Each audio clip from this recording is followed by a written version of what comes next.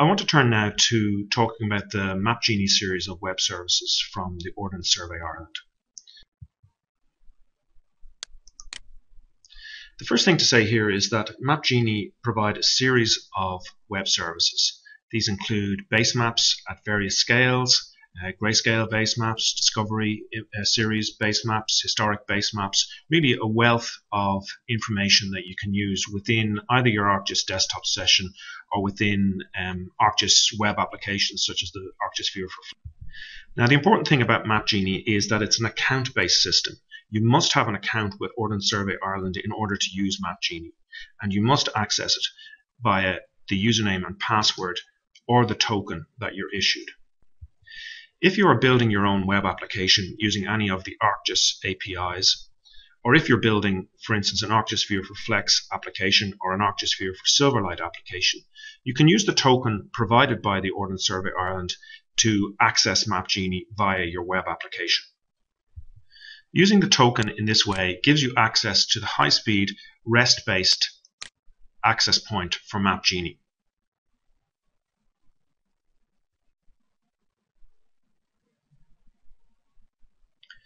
and gives you the familiar view of MapGenie that you will have seen in many web applications. I want to emphasize that in this case you're accessing the REST endpoint for MapGenie.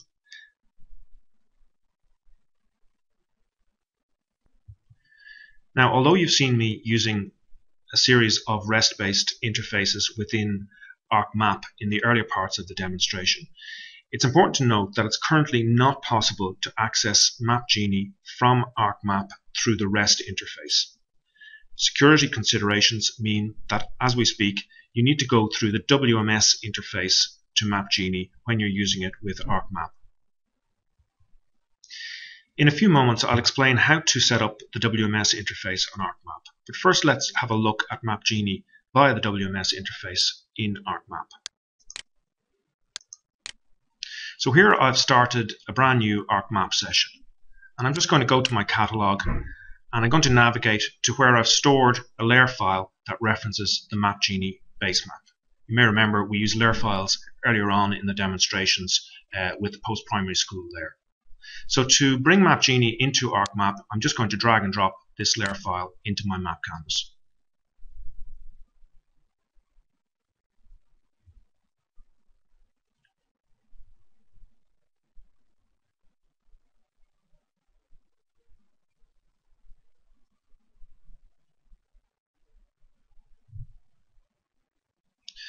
You'll see it loads the MapGenie layers and starts to access uh, the MapGenie data from the Ordnance Survey Ireland server.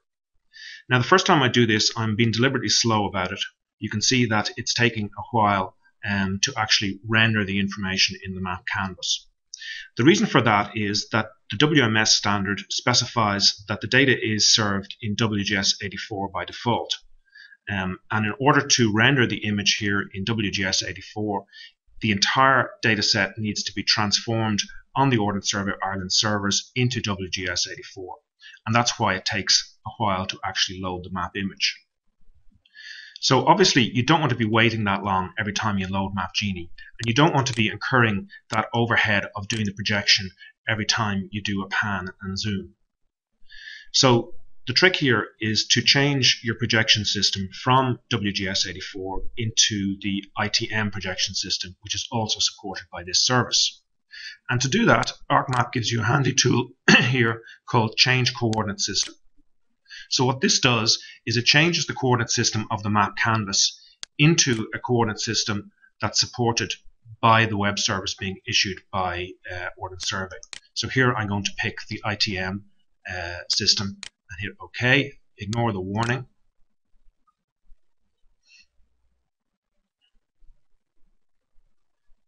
And now we get an ITM MapGenie base map um, within our map canvas. And as we zoom and pan, the response will be much quicker.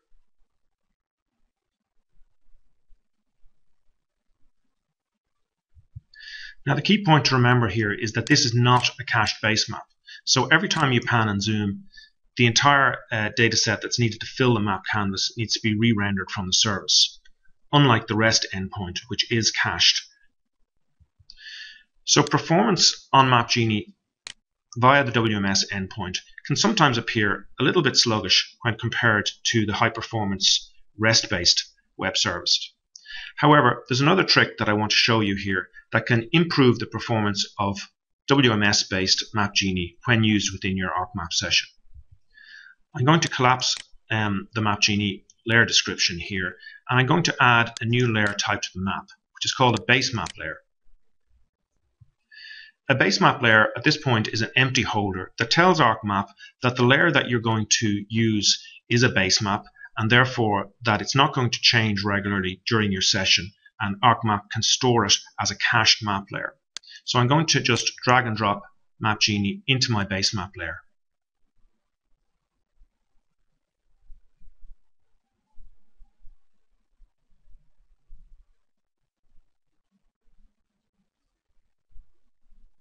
Now what this does, as I pan and zoom, it starts caching MapGenie on the client, in other words, within ArcMap. So you saw that took a little moment to refresh, but as I zoom back to where I was, I now get the Slippy map performance. So by making a base map layer, you can turn your dynamic um, maps into something approaching a cached base map. And that's a useful trick to know because most people tend to load MapGenie and then work with it at a particular scale or a particular set of scales during their session. MapGenie is not actually changing um, in terms of the data that's in MapGenie is not changing. So you can afford to cache it on the client to get better performance. So MapGenie offer a number of different services. This particular service I'm looking at here is the MapGenie base map at medium scale in ITM. But for more detail, um, I want to bring in the MapGenie base map at large scale. Again, I do this by dragging and dropping from my layer file.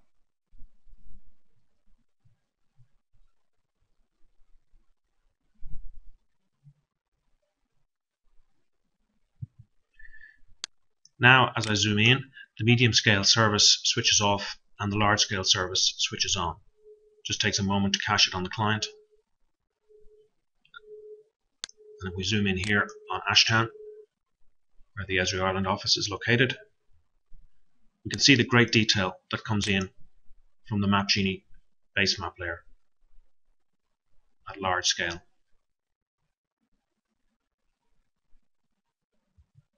So the key things I've covered here are using your layer files to store references to your MapGenie account, dragging and dropping those onto your map canvas, changing the coordinate system of your MapGenie WMS layer, and also creating a base map layer that caches on the client. This will give you high performance MapGenie base maps within your ArcMap session. So we've seen how we can load MapGenie from a layer file how we can cache it on the client to get this fantastic uh, Slippy map performance and uh, the great detail that's available indeed within MapGenie. So really, at this point, we're using MapGenie within ArcMap exactly the same way as we would use it within a web application. We're getting all of the benefits and none of the drawbacks, even though we're using the WMS interface. So the question then becomes, well, how do we set up the WMS connection to MapGenie in the first place? And that's what I want to deal with now. So in order to set up the WMS interface to MapGenie, the first thing you need is an account. Ordnance Survey Ireland will give you an account on their MapGenie system, and you need to specify whether you want the WMS endpoint or the REST endpoint. In this case, because we're using MapGenie within ArcMap, we want the WMS endpoint in particular. They will set up a username and a password for you that enables you to access the web services endpoints for the various services within MapGenie that you're entitled to. In addition to the username and password, the key pieces of information in here are these WMS web services endpoints. These specify how any system can access the WMS service over HTTPS. I'm going to take you through the process of adding the MapGenie Ortho ITM WMS service to ArcGIS to illustrate um, how to do the, the, the, connections in general. So I'm going to copy this particular URL. And switching back then to ArcMap. You can actually do this in either ArcMap or ArcCatalog. I'm just going to do it this time through the catalog window in ArcMap. And you can see I'm down here on the GIS servers node um, where we were in one of the earlier demonstrations. And I'm going to add a WMS server in this case. You can see that I've previously added um, the WMS for the MapGenie base map large scale that I'm using here in the map canvas and the MapGenie base map medium scale that you saw me use earlier on. So I'm going to click on add WMS server here and it will ask me for that URL um, that I just copied and paste, pasted. And when I hit get layers, I'll be prompted for my username and password. My username is Doyle E and my password I'm not going to share with you. And you have an option at this point to save the username and password in your connection, which I'm actually going to do. But you need to be careful about this because if you save the username and password here, it will also be saved in any layer files you create. And when you share those layer files, whoever you share the layer file with will be accessing MapGenie using your username and password credentials, which may be what you want or may be undesirable.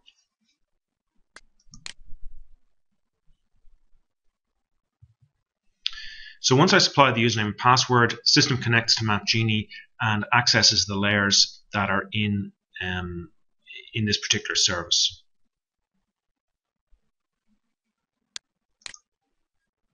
And you can see their details. And again, I'm going to save my credentials in here.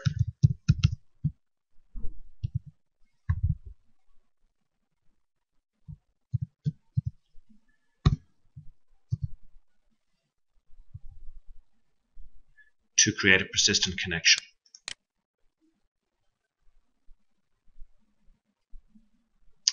And you can see that it's now added that ITM web service for uh, the ortho to my catalog. And once again, I can simply drag and drop that into my view.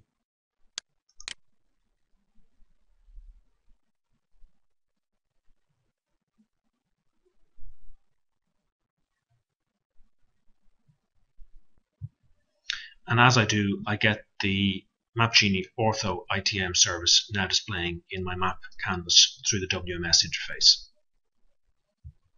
I can either use the ortho or I can switch off the ortho to see the base map or I can create a composite by dragging the uh, large scale layer up my table of contents so that it displays over.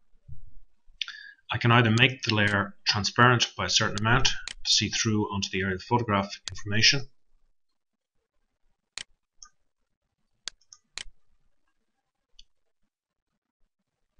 so I get a composite effect or alternatively I can set this um, back to opaque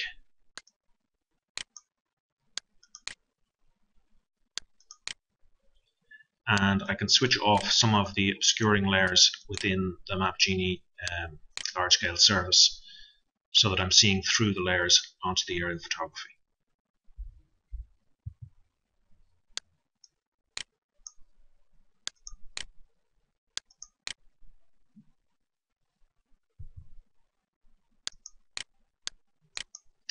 So you can see that within my WMS service here, I have access to all of the sublayers. Indeed, there are many, many sublayers within the uh, MapGenie data structure. This means that if I want to create a customized view of MapGenie, I can do so. So for instance, I could switch off um, all the information to do with buildings, the building annotation, the building lines, and the building polygons. And now I get a MapGenie service without really any building information, just with the land information on. And I can save that as a layer file.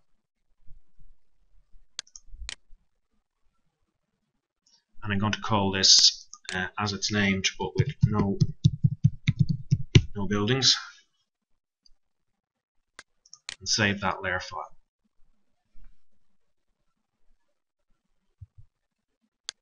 If I remove this layer now, I can access that customized layer file directly by just dragging and dropping it onto the map canvas. And I get the same view back with no buildings or no building information switched on. So before we close, I suppose just a few points in summary. The first point to make is that high performance web accessible web services are not just for web applications. You can actually use them within your ArcGIS desktop sessions also. As you can see here, we're using the WMS service for MapGenie with the medium scale base map. The second point to make is that you can search for thematic data for Ireland via ArcGIS Online.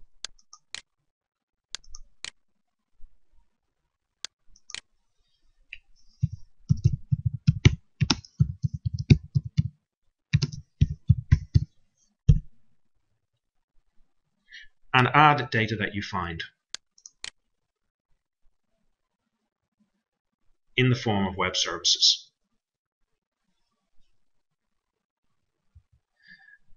And you can combine both REST-based web services and WMS-based web services in your ArcMap session.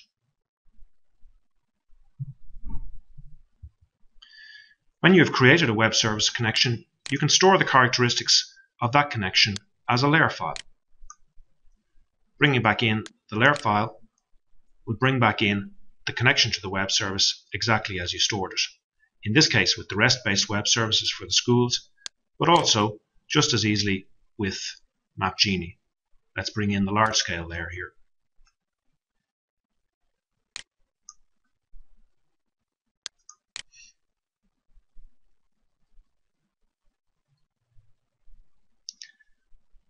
And now when we zoom in on a particular school, we get the building level detail.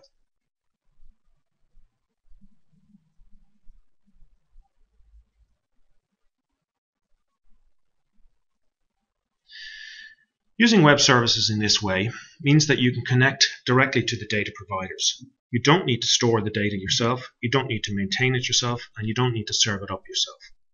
The data is always maintained at the current level by the data provider, so you don't need to refresh and update your data sources every time the original data changes. Web services, as we've seen with web applications, can provide a great boost to GIS users. It enables you to get your GIS project started, to use uh, an extensive range of base maps from Esri or for, from Ordnance Survey Ireland to kickstart your project and then get going using um, either public data that's made available as open data via ArcGIS Server web services, or your own data, which can be stored on your network or served via your own ArcGIS Server instance or your own hosted ArcGIS Online instance with an ArcGIS Online subscription account.